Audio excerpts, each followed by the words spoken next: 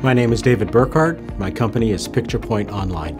One of the things that uh, PicturePoint Online found out early on is in the post process, uh, a process that can take the longest in, in a production is collaboration between the shooters, the clients, and our, and our teammates, the other editors. We found a third party solution that allowed us to collaborate in real time. My advice to small business owners is technology is going to provide a lot of solutions for you.